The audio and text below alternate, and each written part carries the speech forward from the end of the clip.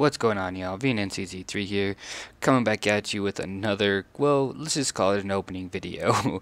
and so yeah, if you like what you hear and what you see in the video, go ahead and hit that subscribe button guys. I do a lot more than what I'm doing right now, I can assure you of that. I cover high level gaming in Castle Clash as well, and kind of mid-level tier in Clash Royale. So um, yeah, we're going to open up a bunch of these chests, like the hero chests, and um, so on and so forth. I did a couple of hell events, and so yeah, let's go ahead and open these up. The hero chests, you guys got to remember, are really good. They're going to feed your heroes gear, and that's something that you need to not be upset about when you get, because it saves you six stamina, and it's just it's overall just good. See like that, I got two I got like two green items right there, um, so I'm happy about that. I just am. And rare material chest, give me something good. Eh, nah, it's alright. The gold, the, the metal and the linen are actually not that bad. I could use those. And so here we go. 17 epic material chests. Give me something good. Ooh, epic log's good. Rare copper coils, not bad. Anything else? Nope. Um, everything else is kind of okay. I, the lava mud and the amber, it's kind of mediocre. I don't know too many people that need that, or too many pieces of gear that need that. But the epic log and the rare coil are pretty nice to have. And so, epic jewel chest. I got an uncommon engine, uh, siege engine attack jewel. That's kind of whatever. Um, the legendary frostwing chest. Give me hearts. Give me hearts. Ooh, okay. I'll take the frostwing horn. It's not too bad.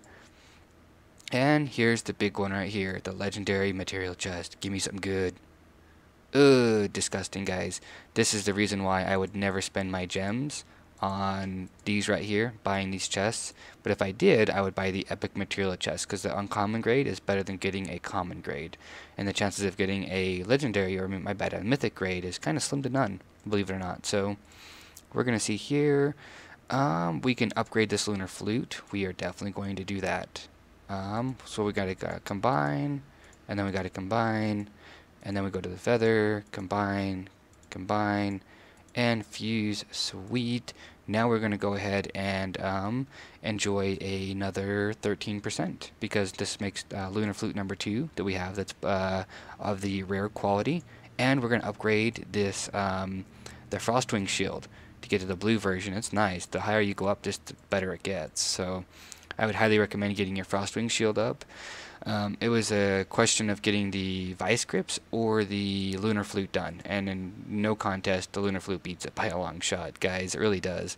Um, yeah, it's really nice to have this. My next, hopefully, upgrade is going to be the Sentinel Circlets because I need um, more of these metals from the rich veins. Um, but on the Taiwan server, guys, I have two legendary status Sentinel Circlets and two legendary status Lunar Flutes, and they're really nice to have, guys. So, um, yeah. Uh, until next time, guys, hopefully you guys liked the video, and if you did, um, yeah, I'll make more. so anyways, guys, love, peace, and chicken grease. Be safe, but above all, stay classy.